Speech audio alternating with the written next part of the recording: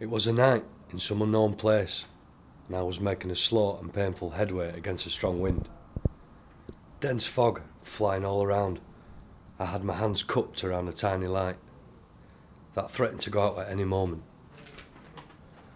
Suddenly, I had the feeling that something was coming up behind me. I looked back and saw a gigantic black figure following me. But at the same moment, I was conscious, in spite of my terror, that I must keep my little light going through the night and wind, regardless of all dangers.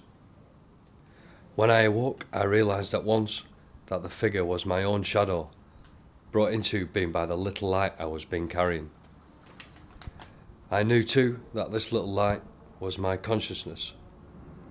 Through infinitely small and fragile in comparison with the powers of darkness, it is still a light, my only light.